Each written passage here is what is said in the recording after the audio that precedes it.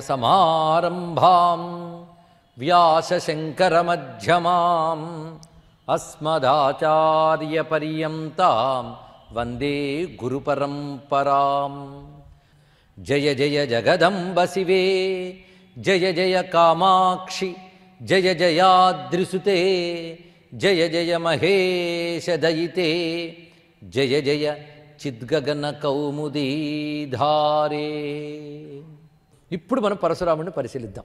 ఆయనకి ఎప్పుడైతే భూమినంతటి సంపాదించాడో తపస్సు చేత పుణ్యలోకాలు సంపాదించాడో ఆయనకు ఒక తెలిసిపోయింది. ఇవి అనిత్యములు అని. అనిత్యములను తెలుసు గనకనే వచ్చిన భూమినంతటి కూడా దానం చేశాడు అనిత్యములను తెలుసు గనకనే పుణ్యలోకాలు ఎదురు చూస్తున్నా వెళ్ళలేదు ఇక్కడే ఉన్నాడు ఆయన. రాముడు బాణం ఎక్కుపెట్టి దేన్ని వదిలేయమంటావు? అంటే నా పుణ్యలోకాలు తగలబెట్టన్నాడు. చూసారా ఇహాముత్రార్థ భోగ విరాగం అక్కడ కనబడుతుంది. అందుకే ఈ కథలో ఒక జ్ఞానాన్ని కథారూపంలో ఇస్తున్నాడు ఇక్కడ. కానీ ఇహలోక సుఖములు అంటే భూమినంతటి దానం చేయడంతో ఇహలోక సుఖాలు వదిలేశాడు. బాణానికి ఎర్రగా బాణానికి లక్ష్యంగా పుణ్యలోకాలన్నీ దగ్ధం చేయించేశాడు. కానీ ఇప్పుడు ఆయన ఏం మిగిలేయండి? ఇహలోక పరలోక సుఖాలు రెండు వదిలేశాడు. ఎంత గొప్పవాడండి మనం వదులుకోగలమా? ఎంత త్యాగం ఉండాలి దానికి? త్యాగేనేకే అమృతత్వమానసు అంటే ఇది అర్థం. సర్వసుఖ త్యాగం చేశాడు మహానుభావుడు. పాపం పోగొట్టుకున్నాడు తపస్సు చేత యజ్ఞం చేత. పాపం పోయింది. పుణ్యములు కూడా వదిలేశాడు. పాప పుణ్యాలు రెండూ వదులుకుంటేనే మోక్షం ఇది తెలుసుకోండి ఇక్కడ. అయితే అది మొదటి దశలో అవి చెప్పకూడదు. మొట్టమొదటి మాత్రం పుణ్యం సంపాదించండి దానాలు చేయండి ధర్మాలు చేయండి కోపం తగ్గించుకోండి అమ్మానాలను పూజించండి. ఇవి మొట్టమొదటి ధర్మాలు. కానీ ఇవే శాశ్వత ధర్మాలు కావు. అది బేసిక్స్. ఇవి ఎలాంటిది అంటే నువ్వు ఆఫీస్కి వెళ్ళినప్పుడు యూనిఫారం వేసుకో ఎక్సర్సైజ్ చేయి. ఇవి చెప్తారు కదా పోలీస్ ఆఫీసర్లకి అలాంటివి. అంతేగాని కేవలం యూనిఫారం వేసుకుని కుర్చీలో కూర్చున్నంత మాట డ్యూటీ చేసినట్టు కాదు. అలాగే ధర్మాలన్నీ కూడాను మనకి మంచి జీవితం కోసం చెప్తాయి. కానీ మంచి జీవితం పొందేం చేయాలి? అది తెలియాలి ఇక్కడ. అందుకే మాతృదేవో భవ పితృదేవో భవ క్రోధాన్ని తగ్గించుకో కామాన్ని తగ్గించుకో ఇవన్నీ కూడా సామాన్య ధర్మములు. అవి చెప్తూ ఉంటాం ఉపన్యాసాల్లో. అవి ఎన్నో చెప్పుకున్నాం. దాని పైన ఉన్నది ఇప్పుడు చెప్తున్నారు. ఇవన్నీ సంపాదించుకుంటూ అంతరింద్రియాలు నిగ్రహించుకోవాలి బహిరింద్రియాలు నిగ్రహించుకోవాలి కొందరికేమో నిత్యానిత్య వస్తు వివేకం ఉంటుంది. ఇహలోక పరలోక సుఖాల మీద ఆకాంక్ష ఉండదు వైరాగ్యం ఉంటుంది. కానీ ఇంద్రియ నిగ్రహం ఉండదు. ఏం లాభం చెప్పండి ఇక్కడ?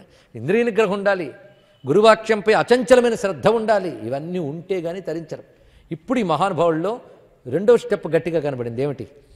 ఇహాముత్రార్థభోగ విరాగం. రెండు విడిచిపెట్టేశాడు చూసారా తాను దత్తాత్రేయుడి వద్దకు వెళ్ళే లోపల పరశురాముల్లో తయారైనటువంటి గ్రౌండ్ ప్రిపరేషన్ ఇదంతా కూడా.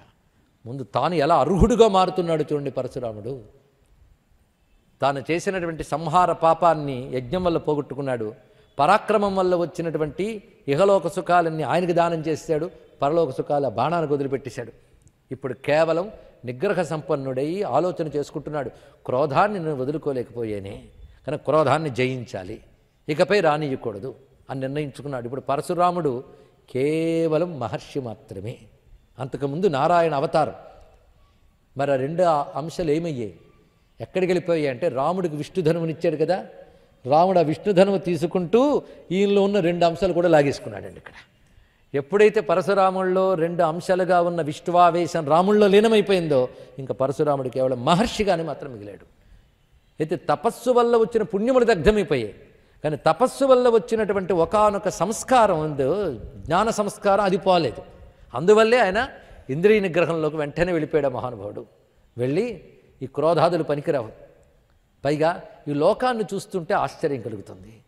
ఎప్పుడు ఈ లోకం కేవలం అశాశ్వతమైన సుఖం కోసం పరిగెత్తి పరిగెత్తి లోపలున్న శక్తిని తగలబెట్టుకుంటున్నారు ప్రతి వాళ్ళు. ఎందుకంటే కొంతకాలం ధనం సంపాదించాలి. కొంతకాలం భార్య కొంతకాలం పిల్లలు కొంతకాలం ఆస్తులు కొంతకాలం పాస్తులు కొంతకాలం పదవులు. వీటి కోసం ఉదయం నుంచి రాత్రి నిద్రపోయే వరకు నిద్రపోయిన తర్వాత పీడకలల్లోనూ ఎలాగోలాగా ఎందుకంటే వాటి గురించి ఆలోచిస్తుంటే అవే కళ్ళు. ఒక ఆయన అన్నాడు ఎందుకండి కళ్ళు వస్తాయని పడుకుంటే కళ్ళు వస్తాయి ఇంకేముంది ఇక్కడ? పెద్ద కారణం ఏం లేదు. పగలంతా అవే ఆలోచిస్తూ ఉండడం వల్ల. కానీ బతుకంతా ఏమైంది నీకు? ఒక్కసారి ఆలోచించు. ఈ ఆలోచన లేనప్పుడు మాత్రం త్రిపుర రహస్యం కాదు సరిగదా? భగవద్గీత ముట్టుకోవడానికి కూడా మనకు అర్హత లేదు తెలుసుకోండి ఇక్కడ. మనం అనుకుంటా త్రిపుర రహస్యం కంటే భగవద్గీత తేలికని భగవద్గీత మహా కష్టం. త్రిపుర రహస్యం కంటే కథలేని దొరుకుతున్నాయి. భగవద్గీత ఏం చెప్పిందో త్రిపుర రహస్యం అదే చెప్పింది తెలుసుకోండి ఇక్కడ. కృష్ణుడు చెప్పిన జ్ఞానం ఏదైతే ఉన్నదో ఆ జ్ఞానమే దత్తాత్రేయుడు చెప్పిన జ్ఞానం అదే. దత్తాత్రేయుడు జగద్గురువే ఆ స్వరూపమే కృష్ణ పరమాత్మ. కనుక ఇద్దరు చెప్పింది ఒకటే ఇది ఆలోచించండి. అసలైన భగవద్గీత ఇక్కడ చెప్పబడుతుంది. అందుకే మహానుభావుల్లో ఒక ఆలోచన కలిగింది. ఏముంది దీనిలో? కేవలం మహర్షిగా మారిపోయిన తర్వాత విష్ణువు ఏం చేయదలుచుకున్నాడో ఈలోని క్షత్రియాంశాన్ని కలిపి చేయించాడండి.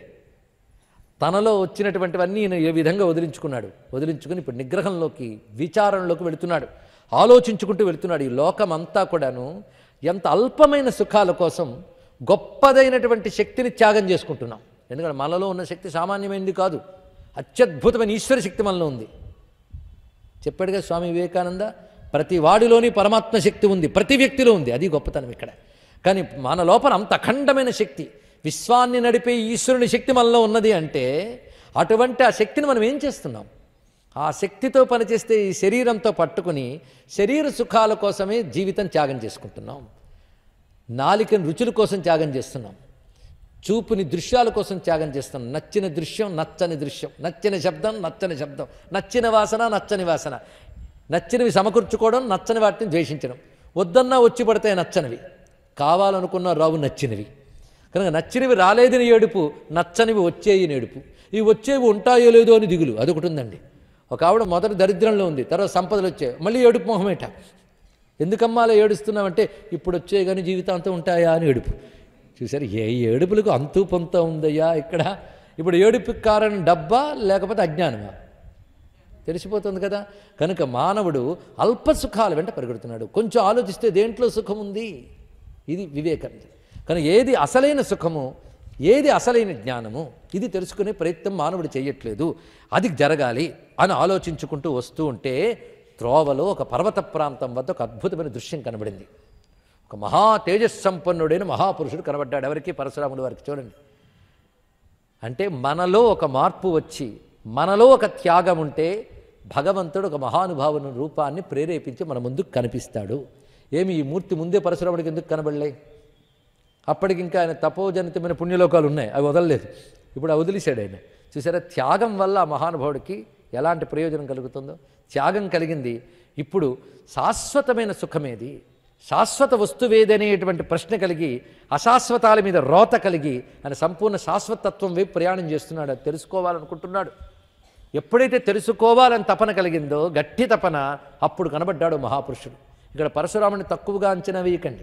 ఎన్ని తపస్సులు చేశాడు మహానుభావుడు? ఎన్ని యజ్ఞయాగాలు చేశాడు? పరశురామ స్మృతి అనే గ్రంథం రచించాడు ధర్మశాస్త్రాన్ని అందించాడు. ధర్మశాస్త్రంలో మహాపండితుడు తపస్సులో మహాపండితుడు. అంతవాడు మర్చిపోవద్దు ఇక్కడ. సామాన్యుడు కాడు. కేవలం గొడ్డలు పట్టుకుని వెళ్ళిపోయాడు అనుకుంటున్నారా? ఎంత తపస్సుందా మహానుభావుడు వెనకాల? స్మృతి రచించాడు ధర్మశాస్త్రం రచించాడు మర్చిపోవద్దు. పరశురామ స్మృతి నేటికి దొరుకుతుంది. అలాంటి మహానుభావుడు ఇప్పుడు కేవలం పరతత్వం గురించి శాశ్వత సుఖం గురించి ఆలోచన చేస్తూ వెడుతూ ఉంటే ఒక అద్భుతమైన పురుషుడు కనబడ్డాడు. చూడ్డానికి ఎలా ఉన్నాడంటే వస్త్రరహితంగా ఉన్నాడు. అయితే మహానుభావుల్ని పోల్చుకునే అదృష్టం ఎవరికి దొరుకుతుంది? ఇది పెద్ద ప్రశ్న. ఒక్కొక్కప్పుడు మన పక్క నుంచే మహాత్ముడు వెళ్ళిపోతాడు. మన పక్కనే ఉండి మనతో మాట్లాడచ్చు కానీ మన మహాత్ముడిని పోల్చుకోలేం. అందుకే నారదుల వారు ఒక మాట అంటారు ఒక మహాత్ముడు దొరకడం కష్టం మొదటిది. దొరికితే పోల్చడం కష్టం.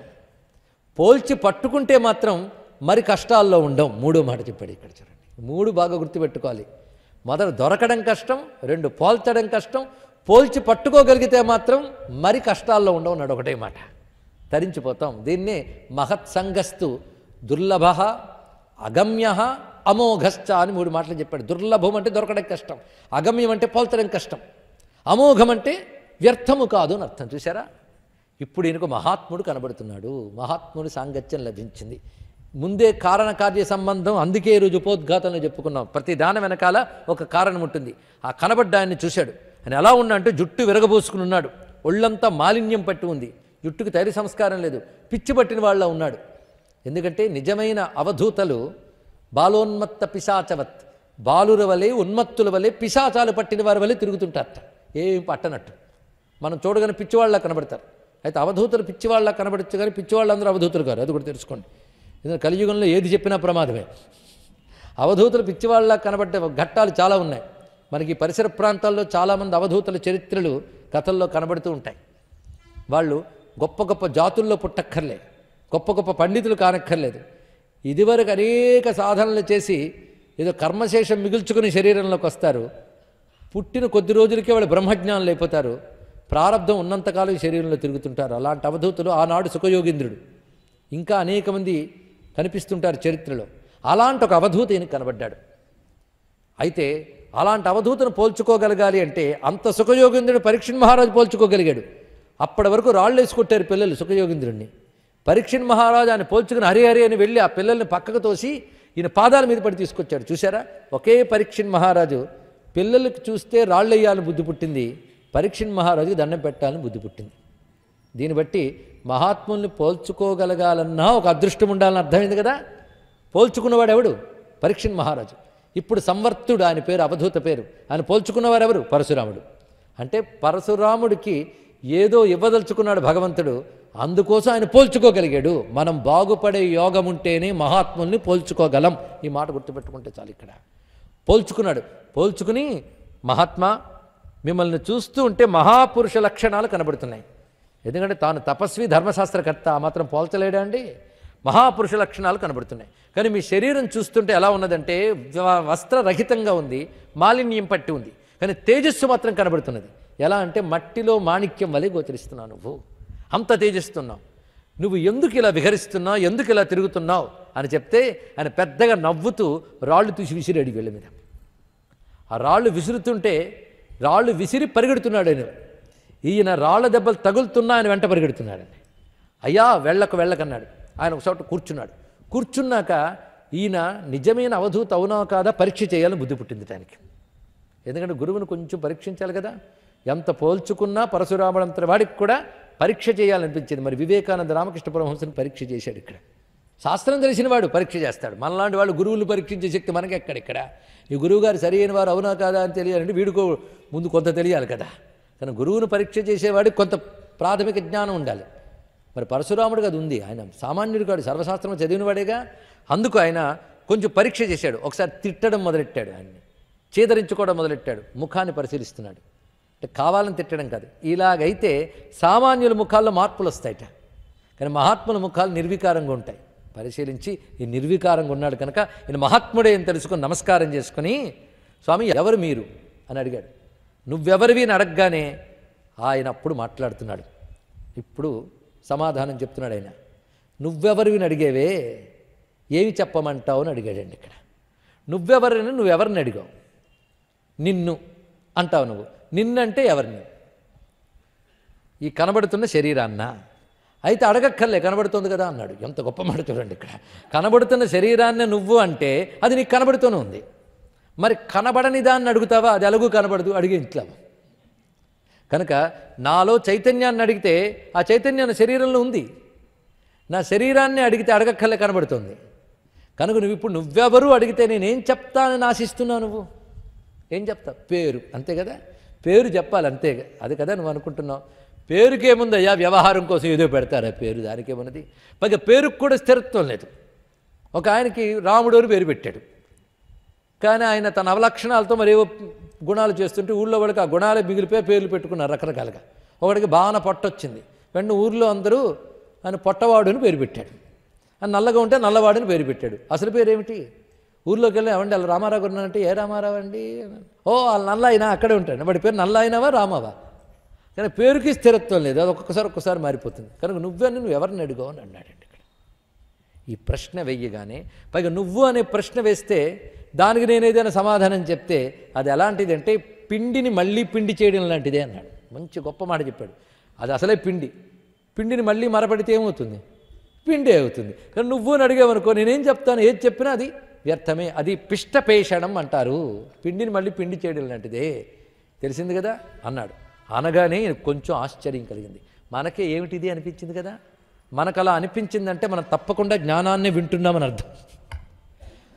అంత మహానుభావుడైన పరశురాముడికే ఒక్కసారి స్తబ్ద వాగ్బుద్ధి పౌరుష అన్నాడు.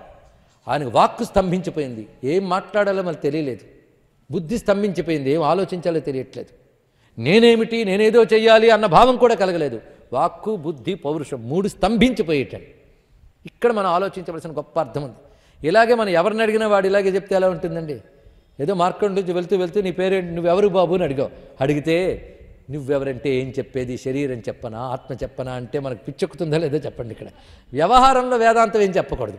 శంకర భగవత్పాలు వారు మొట్టమొదట తన ఎనిమిదవ ఏటనే సన్యసించి నర్మదా నదీ తీరంలో గోవింద భగవత్పాదుల వారిని గుహ వద్దకు వెళ్ళి స్తోత్రం చేశాడు మహానుభావ అని. వెంటనే లోపల నుంచి గోవింద భగవత్పాదుల వారు ఎవరు నువ్వు అడిగారు? ఎవరు నువ్వు అని అడిగితే అది తెలుసుకోవడానికి వచ్చాను సోమన్నాడు ఆయన. గొప్ప విషయం. ఎవరు నువ్వు? గొప్ప ప్రశ్న ఎవరు నువ్వు అంటే నేను కాలు చెయ్యి కన్ను ముక్కు ఇంద్రియాలని కాను ఇంద్రియాలన్నీ ఉన్న శరీరాన్ని కాను నడుస్తున్న ప్రాణాన్ని కాను ఇవన్నీ తీసేయగా ఏది మిగులుతుందో అదే నేను సమాధానం ఇచ్చట. అయితే ఇలాగ మనం ఎవరైనా సరే ఎవరండి అక్కడ అంటే ఇదే చెప్తారండి ఎవరైనా? వ్యవహారంలో ఇలా మాట్లాడక్కర్లే. కానీ ఎవరు ఎవరితో మాట్లాడుతున్నారన్న బట్టి మాట్లాడాలి ఇది. ఇక్కడ పరశురాముడు పరతత్వం తెలుసుకోవడానికి బయలుదేరిన వాడు ఎదురుగా ఒక అవధూతను చూసినప్పుడు అవధూత మాట ఇలాగే ఉంటుంది. పైగా పరశురాముడిని అనుగ్రహించదలుచుకున్నాడు కనుక ఆయన అలా మాట్లాడాడు. మహాత్ములు అందరితో అలా మాట్లాడరు. మహాత్ములు మనతో కనబడితే నీ పేరేమిటంటే చెప్పేస్తారు పుల్లారావు నేను పర్వాలేదు. మన దగ్గర వేదాంతం చెప్పరు. ఎందుకు చెప్పినా వీడికి అనవసరం అని. పరశురాముడితో ఎందుకు అలా మాట్లాడాడంటే పరశురాముని తరింపజేయదలుచుకున్నటువంటి ఆ త్రిపురాదేవి అనుగ్రహం ఆ సంవర్తుని చేత మాట్లాడించింది. లేకపోతే మహాత్ములు మాట్లాడతారనుకున్నారా? ఒక అవధూత నిలబడి మాట్లాడాడు అంటే మన పుణ్యం పండింది అని అర్థం. లేకపోతే సర్వం బ్రహ్మమయంగా చూసే సుఖయోగీంద్రులు ఏడు రోజులు మఠం వేసి కూర్చుని పరీక్షణ్ మహారాజుకి భాగవతం ఎలా ఉపదేశించాడు అని ప్రశ్నించారు. సౌనకాది మహర్షుల సూతపౌరానికి ఎందుకంటే అవధూతులు ఒకరికి ఉపదేశం చేయరు ఒకరికి నమస్కారం చేయరు ఒకరికి ఆశీర్వచనం చేయరు. ఎవరు అవధూతులు? సన్యాసులకు పైనండి అవధూత స్థానం. అటువంటి వాడు. అలాంటిది సుఖయోగింద్రుడు అవధూతయ్యి కూర్చుని అంత ఏడు రోజులు ఎలా చెప్పాడయ్యా? అంటే అది పరీక్షిత్తు భాగ్యమయ్యా అన్నాడు ఒకటే మాట. పరీక్షిత్తు అదృష్టం. అందుకే మహాత్ముడు కూర్చుని మాట్లాడాడంటే వారు అదృష్టం అక్కడ. వారు తరించడానికి మహాత్ములు అలా మాట్లాడారు. అందుకు ఇప్పుడు సంవర్తుడు నిలబడి మాట్లాడాడంటే ఈయన అదృష్టం. నువ్వు నన్ను నువ్వని ప్రశ్నించేవే అది నువ్వు ఎలా ప్రశ్నించినా పిండిని పిండి చేయడమే. దాని వ్యర్థమైన ప్రశ్న అని వేశాడు. అయిన వెంటనే ఈయన కొంతసేపు ఏం మాట్లాడాలో తెలియక కాళ్ళ మీద పడి ఒక మాట అన్నాడు. నా అజ్ఞానం నాకు ఇప్పుడు తెలుస్తోంది అన్నాడు చూసారా అంటే ఈయనకి ఏ జ్ఞానం వచ్చింది? అజ్ఞానాన్ని పోల్చగలిగే జ్ఞానం వచ్చింది. నా అజ్ఞానాన్ని నాకు తెలియజేశావు. నాకు ఎలా ప్రశ్నించాలో కూడా తెలియదన్నాడు. చూడండి ఇది బాగా గొప్ప మాట. ఎంత అహంకారం అణిగిపోవాలో ఈ కథ వింటే. నిజంగా మనకి నిత్యానిత్య వస్తు వివేకం పొందుము ఇహాముత్రార్థభోగ విగరాగం పొందుము అని చెప్తే రుచించదు. పరశురాముడి కథ చెప్పి మనకి ఎంత చెప్తున్నాడు మహానుభావుడు చూడండి. అంత పరశురాముడు అంతటి వాడు ఏం మాట్లాడుతున్నాడు? కనుక వినయం ఎంత అవసరమో దీన్ని బట్టి తెలుసుకోవాల్సింది. అహంకారం లేనివాడే అనుగ్రహాన్ని పొందగలడు. అహంకారం వదిలిన వాడికే అనుగ్రహం లభిస్తుంది. ఏ విధమైన అహంకారం ఉన్న ప్రమాదం. నేను శాస్త్రాలు చదివాను పుస్తకాలు చదివాను జపాలు చేస్తున్నాను ఏ కొద్దిపాటి అహంకారం నీలో ప్రవేశించిందా? నీ ఆత్మవాకిలి తలుపులు మూసుకుపోతాయి. జ్ఞానం నీలోకి రాదు. ఇది తెలుసుకోవాలి ఇక్కడ. ఈ మహానుభావుడు అందుకే నాకు ఎలా ప్రశ్నించాలో కూడా తెలియదయ్యా అన్నాడు. అది గొప్ప మాట. కాబట్టి నేను ఒక్కటే చెప్తున్నాను. నిష్కపటమైన చిత్తంతో నీకు శిష్యుణ్ణి అయిపోయాను నేను. నా బుద్ధికి ఏది అవసరమో అది నువ్వు జ్ఞానాన్ని బోధించు. ఇది. ఎందుకంటే సబ్జెక్ట్ సెలక్షన్ కూడా శిష్యుడే చేస్తే అలా అండి ఇక్కడ? మనకి ఏది యోగ్యమో అది గురువు చెప్పాలి. అలా నువ్వు సరెండర్ అయిపోవాలి. సరిగ్గా అర్జునుడు అన్నట్లే శిష్యస్తేహం సాధిమాం త్వాం ప్రపన్నం. అది మాట ఇక్కడ. శిష్యుడిని అయిపోయాను. శిష్యుడు అంటే అహంకారాన్ని విడిచిపెట్టడమే శిష్యత్వానికి మొదటి అర్హత. కనుక నీకు శిష్యుని అయిపోయాను నేను. నాకు ఏది యోగ్యమో అది నువ్వు చెప్పు. అంతే. మరేమీ చెప్పకూడదు. నాకు ఈ జ్ఞానం కావాలి ఆ జ్ఞానం కావాలి మంత్రశాస్త్రం చెప్పు ధర్మశాస్త్రం చెప్పు బ్రహ్మశాస్త్రం చెప్పు అనవసరం. నా జీవుడికి ఏది అవసరం అది చెప్పు. ఎప్పుడైతే అలా సరెండర్ అయ్యాడో అప్పుడు ఈయన కూర్చొని ఇప్పుడు చెప్తున్నాను విను. నేను అంగీరస గోత్రానికి చెందినవాడిని బృహస్పతికి తమ్ముణ్ణి నేను. నన్ను సంవర్తుడు అంటారు. చూసారా ఇంతవరకు నువ్వన్నప్పుడు చెప్పిన సమాధానం ఇప్పుడు చెప్పిన సమాధానం తేడా లేదు. అంటే వ్యవహారంలో నాకు పేరుంది. వ్యవహారంలో నాకు పుట్టుకుంది ఈ శరీరానికి. కనుక అవి చెప్పాలి. అవి చెప్పాడు ఆయన. నేను అంగీరస గోత్రానికి చెందినవాడిని బృహస్పతికి తమ్ముణ్ణి. మొట్టమొదటి నాకు బృహస్పతికి వైరం కలిగింది. వైరం కలిగిన తర్వాత నేను చేసిన పని ఏమిటి అంటే తర్వాత నాలో రియలైజేషన్ మొదలైంది. ఇదిగో నువ్వు మొత్తం క్షత్రియ సంహారం చేసేసిన తర్వాత రాముడు కూడా నీ పొగరు లాగేశాక నీలో ఎలాగ ఒక ఆలోచన పరివర్తనం జరిగిందో నాకు కూడా నా సోదరుడితో వైరం కలిగి అసూయ కలిగి ఆ తర్వాత నాలో ఒక రియలైజేషన్ వచ్చింది. దాని తర్వాత నేను సాధన వల్ల ఒక మహానుభావిని వల్ల నేను జ్ఞానాన్ని పొంది స్థితికి వచ్చాను ఆ మహానుభావుడు దత్తాత్రేయ స్వామి. ఆయన్ని ఆశ్రయించడం చేత ఇప్పుడు నువ్వేదో నాలో అనుకుంటున్నావే అతనికి లభించింది. ఆ మహానుభావుడు కూడా నాకేం చేశాడంటే ఒక మాట చెప్పాడు. నువ్వు నేను నేను అని ఎవరిని అనుకుంటున్నావో ఆ వస్తువు తప్ప ప్రపంచంలో మరొక వస్తువు లేదు. జాగ్రత్తగా విన్నారా? మనం నేను నేను అని దేన్ని అనుకుంటున్నామో ప్రపంచంలో ఆ వస్తువు ఉంది మరేమీ లేదన్నాడు. అదొక్కటే ఉంది వస్తువు. నేను అని దేనివల్ల అనుకుంటున్నావు? దాని పేరు ఆత్మ. ఆత్మ ఏది? శరీరం కాదు. మరి శరీరం కానప్పుడు అదేమై ఉంటుంది? శరీరము అంటే కనిపించే ఇదే కాదు కదా లోపల ఉన్న బుద్ధి ప్రాణము మనస్సు అన్నీ కలిపి శరీరం. ఈ శరీరానికి సంబంధించింది కాదు నేను అనే భావం. నేను అనేది శరీరంలోంచి ప్రవహిస్తోందే తప్ప నేను శరీరానికి కాదు. కానీ శరీరంలో ప్రవహించే నేను ఏది ఉండడం వల్ల వస్తుంది? అంటే ఇక్కడ ఉన్న ఈ గదిలో ఉన్న లైట్ అంటే మీరందరూ కూర్చున్న ఈ చోట ఉన్న కాంతి గోడ వల్ల వచ్చిందా నేల వల్ల వచ్చిందా బల్ల వల్ల వచ్చిందా మైక్ వల్ల వచ్చిందా? చెప్పండి. కాదు పైన ఉన్న దీపం వల్ల వచ్చింది. కానీ ఆ కాంతి ఇదంతా ప్రసరిస్తున్నప్పుడు ఇది వెలిగిపోతోందని భ్రాంతి కలుగుతుంది నీకు. కానీ కాంతి గదినంతా వ్యాపించిపోయినా గదికి కాంతి లేదు. అలాగే నేననే చైతన్యం నీ శరీరం అంతా ఉన్నా శరీరానికి నేను లేదు. ఆ నేను దేనిదంటే శరీరానికి ప్రాణానికి బుద్ధికి కూడా చైతన్యాన్ని ఇచ్చే ఆత్మస్వరూపంగా ఎవడున్నాడో వాడిది. ఆ వాడైన ఆత్మ అందరిలో ఒకేలా ఉంది. శరీరాలు మారుతున్నాయి కానీ ఆత్మ ఒకటి. ఆత్మ ఎవరు? సాక్షాత్ నువ్వే దాన్ని ఈశ్వరుడు అంటావు భగవంతుడు అంటావు. ఆ ఆత్మ ఎందే ఈ శరీరాలు ప్రపంచము ప్రకాశిస్తోంది. కనుక దేని ఎందు ప్రపంచం ప్రకాశిస్తుందో దానిని చూడు. ప్రకాశించే ప్రపంచాన్ని చూడకు. ప్రపంచం దేని ఎందు ప్రకాశిస్తుందో దాన్ని చూడు. ఇప్పుడు కొంచెం అర్థమైందా?